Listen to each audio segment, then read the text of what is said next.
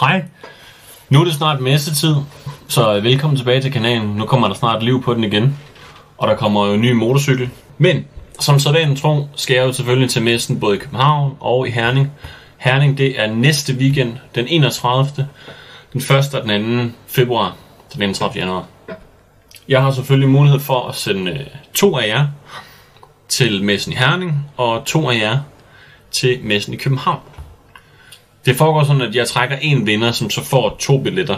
Så kan man så tage en med, som man ligesom kan tage afsted sammen, i stedet for at man tager afsted alene. Man skal bare være subscribet.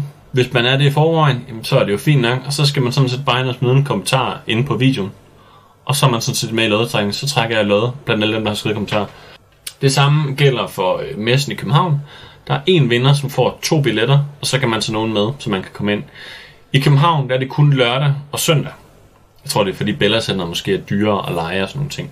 Det vil sige, at øh, til næste uge, der trækker vi en vinder om torsdagen, fordi så kan man komme afsted om fredagen, hvis det er det, man har lyst til, eller lørdag om søndag, så kan man selv bestemme. Hvis det er relevant for dig at komme til messen i Jylland, så skal du skrive Jylland, punktum, og så din kommentar. Du kan også bare skrive Jylland, så er du med i lodtrækning. Så trækker vi med alle dem, der er i Jylland. Og når det så er København, så skriver man selvfølgelig København, punktum, sin kommentar, så jeg kan kende forskel. Så jeg ikke trækker en vinder, som bor i Skagen til messen i København. Giver det mening? Super. Jeg sidder lige og kigger på øh, setup, GoPro setup, fordi jeg har købt nogle, øh, nogle nye ting til, jeg manglede de her ting, jeg fik smadret, så jeg har købt sådan en her. Og så har jeg også købt øh, adapter og en nyt. Så har jeg også købt den her adapter, så nu er jeg, nu er jeg tydet til det. Jeg var nødt til det. Jeg gider ikke det der med at have en mobil i lommen, som optager en semi-god lyd, som vi går på nogle af de sidste optagelser. Og så en ny linse har jeg også købt. Øh, så jeg er klar. Det er super, super svært at have en idé om, hvad det er for en motorcykel, man gerne vil købe. Jeg kan nok godt afsløre, at jeg godt ved, hvad for en det bliver. Øh, for jeg sidder allerede og kigger til alt det, jeg skal have på til den, og det, der skal gøres og sådan noget. Og der er stadigvæk... Jeg tror, jeg er klar til den 1. marts. Men der afslører jeg den stadigvæk ikke, fordi at, så skal jeg lige have skal have lavet lidt billeder og sådan noget, så, vi kan, så jeg kan komme ud på en gang. Nogen kan måske allerede gætte det. Jeg har snakket rigtig meget om fire motorcykler, og så var der den her Eichmann messe i, øh, i Italien i Milano, hvor der kom den her Aprilia RS 660, som har et højt moment ved lave omdrejninger, som jeg synes så super fed ud. Men øh, jeg kan så afsløre, at jeg har været ude, og jeg har kørt motorcykel en gang i år. Kørt øh, på to motorcykler så siger jeg ikke mere. Og det gjorde jeg her for, jeg tror det var den 16. 16. januar. Øh, og skulderen kan godt være med. Men ikke til at køre på racermaskiner. Jeg går lige rundt og kigger på de forskellige modeller. Og sidestillinger og sådan noget. Og jeg kan godt mærke, det er lidt som forventet. Armen vel ikke helt ind til tanken på en racer, men øh, den passer fint nok i stillingen sådan ud, når det er på en, øh, på en naked.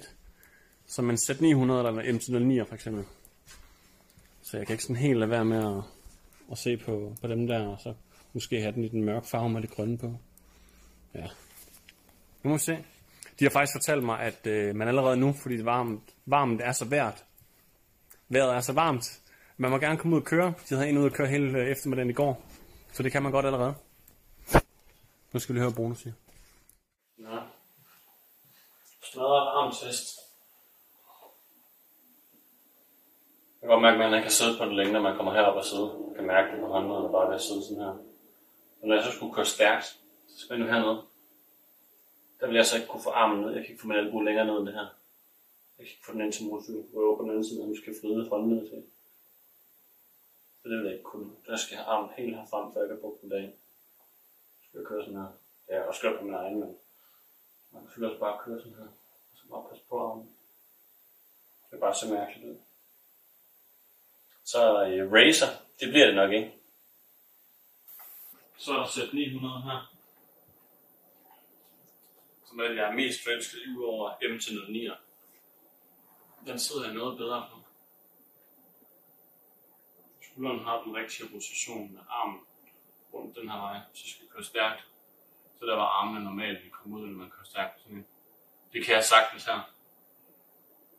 Jeg kan også godt komme ud til siderne godt nok ikke få armen så langt ned til tanken. Jeg tænker på, hvis det kommer sådan ned, så sidder man sådan armen. Så det her, det er sådan en, det her det er ikke måske lige den model, hvor man sidder med underarm på tanken, det gør man mere på en race. Og så har de sagt, at øh, hvis jeg havde taget udstyr med, så kunne jeg sagtens prøve en tur i det, selvom det er den 8. januar, for der er næsten 10 varmegrader. Så jeg tror også, at jeg skal ud og prøve en tur ind i det Måske. Måske, måske, måske. I forbindelse med, at jeg skal til de her, øh, de her messer her, så er der også nogle mennesker, øh, jeg allerede vil, vil nævne nu. Jeg kommer til at skal mødes med nogle piger fra noget, der hedder Unge på MC. De har lavet øh, et event. Der findes noget, der hedder øh, MC-campen her i Jylland på Djursland. Som egentlig er, det det går ud på, det er, det er en lille camp med lidt mulighed for, at man kan lege sig ind til senge og dyner og sådan noget overnat. Øh, og beregnet til folk, der kommer på motorcykel. Men der er rigtig mange, som ikke rigtig som kender til det, og som, som de bare møder på, på Facebook-forum og sådan noget, som spørger efter det. Og de kan ikke forstå, at de ikke har hørt om det, fordi de gør i hvert fald, hvad de kan for at komme ud til folk. Og det er lidt det samme, jeg havde, da jeg startede med YouTube. At jeg ved, at der er mange, der har motorcykel, og jeg ved, at der er mange, der kigger på YouTube, men hvordan skulle jeg lige fange dem, hvis ikke jeg ved, hvis ikke jeg er ven med alle på Facebook, med alle med møder, så skal, de jo, skal jeg jo finde dem et sted, og så kommer man på et forum, hvor man kan se, okay, er der 30.000 medlemmer, hvis jeg så deler en video, jamen, så er der formentlig 500, måske 1000 af de 30.000, der ser det, og så rent faktisk går ind og ser videoen, og så ved de, hvem jeg er, så kan det være, de kommer igen. Men grunden til, at jeg skal snakke om pigerne, det er, fordi de laver et event til, til juni, hvor de laver en, en weekend med events. De har lavet et samarbejde med MC Touring Club, og så har de fået lavet en forening, øhm, og gør det ind i et større projekt, at man kan blive en del af det her. Øhm, så vil jeg spørge dem om, øh, hvorfor de egentlig gør det. Øh, er der krav, når nu det hedder unge på MC? Hvor, hvor gammel skal man så være, eller hvor ung skal man helst være, og alle de her ting. Øh, og så selvfølgelig, hvad der kommer til at ske den her weekend, hvor de laver et event. Så dem skal jeg snakke med. Og øh, når vi så kommer til København, så øh, kunne jeg godt tænke mig at mødes med nogle andre mennesker derovre. Og jeg vil rigtig gerne øh, hilse på, øh, hvad hedder han, motormagasinet Nick. Nick han har jo lavet øh, giveaways både med godter og merchandise og rengøringsmidler til sin motorcykel, og han har også givet en hjelm væk øh, til her i december til jul. Øhm, og han laver nogle sindssygt fede videoer. Jeg tror, Nicky han har en baggrund som fotograf og videograf. Ret mig lige, Nicky, hvis ikke det er helt korrekt antaget. Øhm, og han er skide dygtig. Og han har nogle sindssygt gode idéer i hans videoer. Kom med fif og rådgivning og lidt sjove ting. Og øh, han har købt en ny motorcykel og sådan noget. Og øh, han kunne godt tænke mig med. Fordi jeg synes, at øh, det vil jo på tid, at han kommer på de der 1000 subscribers. Han prøver virkelig, men øh, nu sidder vi lige her og kigger. Øh, hvor mange er du på nu, Nicky? 784 abonnenter. Så han mangler ikke skide meget for at komme op på de her 216 subscribers, for at komme op på de første 1000. Så der skal gøres noget. Så hvis ikke I har set hans kanal før, så hop ind på den. Bare skriv op i søgefeltet Moto, mellemrum, magasinet, og så kommer der sådan et sort logo frem, hvor der står Moto på i den her cirkel. Det er hans logo sindssygt flotte videoer. Han er langt bedre til at filme og sådan noget, end jeg er. Så øh, hvis I vil se noget, der er bedre filmet og redigeret end mit, så hop over til ham. Og ellers bare for at få noget andet, end det jeg laver. Så har vi nogle flere. Så lad os hjælpe ham. Hop lige over og smid ham subscribe. Det har, det har ikke noget med lodtrækning at gøre. Der skal I stadigvæk kun smide en kommentar på den her video. Så sad jeg og kiggede her den anden dag på, øh, på gamle videoer. Så det er fordi, jeg undrer mig lidt over, hvor, hvor hårdt YouTube straffer en når man sidder og laver videoer. Og fordi jeg ikke har lagt noget op i lang tid siden juli efter ulykken, så lagde jeg for eksempel den her op, alle mine first rides, hvor jeg ovenikøbet kom tanke om, jeg har glemt lidt fra Ninja 400. Og Suzuki's V-strøm glemte jeg også, og versus 650 fra Kawasaki har jeg heller ikke fået rigtig med i videoen, mener jeg. Den har 1200 visninger. Så går man videre til Aceface, der kører på Ducati Scrambler. Den har 830 visninger. Så laver jeg en konkurrence i december måned, hvor der er ingen andre, der har tid til at være ude og lave en muligt andet, end at spise julefrokoster og sådan noget. Øhm, så man er nede på 500 visninger hvor man kan vinde noget gratis. Og så laver jeg selvfølgelig en lodtrækning, hvor jeg trækker en vinder. Den er der så kun 377, der siger. Så, øh, så betragtning af, hvor, hvor mange subscribers man har, i mit tilfælde knap 9.200, at der så kun er 307 af dem, der har set den. Det er jo sådan ret... Øh, og jeg giver YouTube skylden. Folk får ikke deres notifikationer. Så derfor kan det også være svært, når man som motormagasinet prøver at komme på 1000. Og, og man gør alt. Han nævner alle hans videoer. Husk at trykke på øh, klokken ved siden af subscribe-knappen hernede, for så får du ikke besked om, når der kommer en ny video. Så du kan gå under dig over, for der kommer noget, og han undrer sig over, hvorfor du ikke ser det, han har lavet. Så man får ligesom den der connection mellem video og seer. Så øh, hvis jeg kan hjælpe Nicky med at få bare de næste 50 subscribers, så er det super fint. Men så sad jeg bare for sjov og sådan kiggede, og så gik jeg sådan ind på min video, og og sådan gik man og kiggede sorterer her, så siger vi jo øh, tilføjet ældste video. Så kan man tænke på at kan vide, hvor mange views mine gamle videoer har. Og det svinger sygt meget. Der er alt fra øh, 300 visninger til øh, 22.000 på en øh, video, jeg har lavet med, med dengang jeg købte min, øh, min Yamaha her for eksempel. Øh, nu skal jeg prøve at se her. Den her video, det er der, hvor jeg har fået sat Exil øh, potte på. Og så kører jeg ud i en skov og stiller min iPhone ned i vejkanten. Fordi faktisk så har øh, iPhone-mikrofonen i telefonen en rigtig god kvalitet. Man skal bare ikke komme for tæt på. Til alle de her videoer, man ser med, at folk de har monteret en udstødning på deres motorcykel, så holder de telefonen helt hen til åbning og udstødning, og så giver de bare max gas. Det kan telefonen ikke håndtere, for så kommer der for meget larm. Øh, bare lige gå halvanden meter væk. Du kan stadigvæk sagtens høre det, men du får et langt bedre indtryk af lydens karakter. Så tænker jeg, stille jeg den i vejkanten. Så kørte jeg ind på en parkeringsplads og hævde det ud med lidt værktøj, jeg havde. Og så kørte jeg en tur. Her der er vi ved 407. Så kører jeg ud. Damerne og manden, de tænkte, det var lidt mærkeligt, at jeg havde stillet sådan et skilt. Det var det også. Så fører den bare lige af. Det vil lige høre det her, hvordan det Det er altså også godt. Den har en god lyd, sådan to cylinder der. Det var bare helt fra bunden her. Bra, bra, fuck, det var godt. Kom så tilbage, så rykker op, jo. Kom så.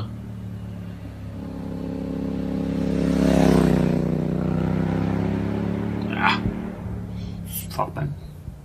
Og så klipper vi. Så kommer jeg så tilbage den sidste gang i fart, i stedet for bare man hører accelerationen. Så kommer der lidt drive-by. Eller hvad?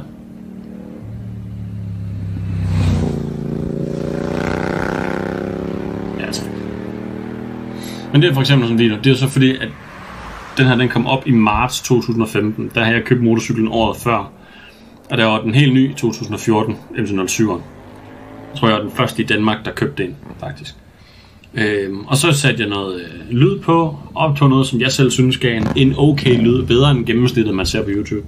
Så er der alle de gamle videoer har, som der ikke rigtig er nogen, der har set, fordi de er så gamle. Så folk, der kommer ind og er subscribet i dag, de er aldrig gået ind og trykket på videoer på min øh, page. Det kunne I prøve bare for sjov.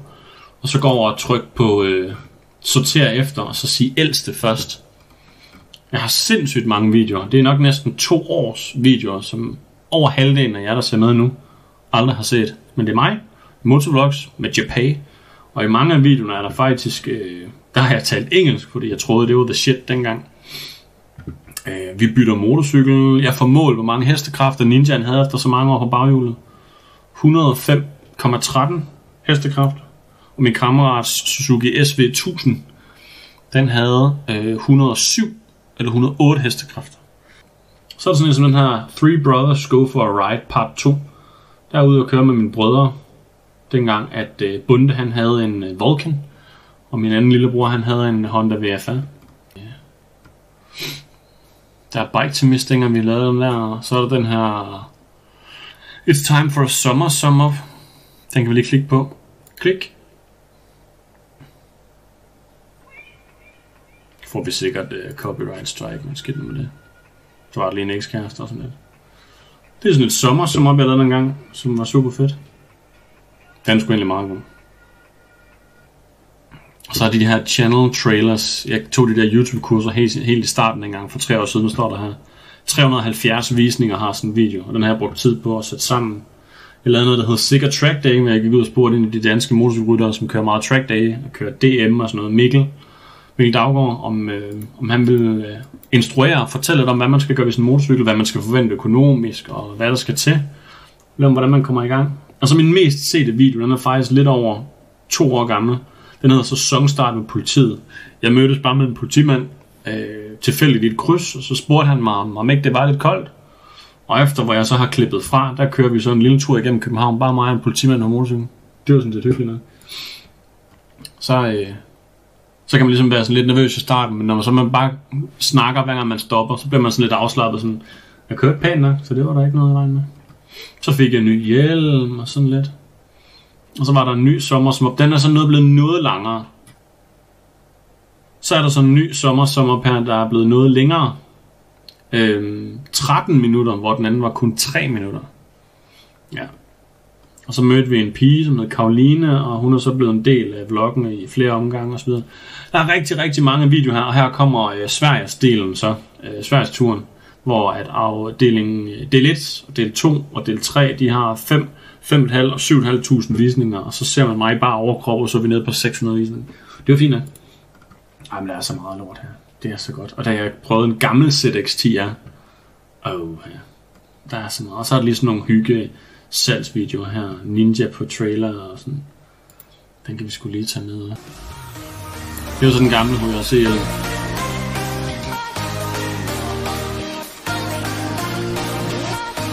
Ja, den tror jeg skulle lige, vi smider et link til min beskrivelse.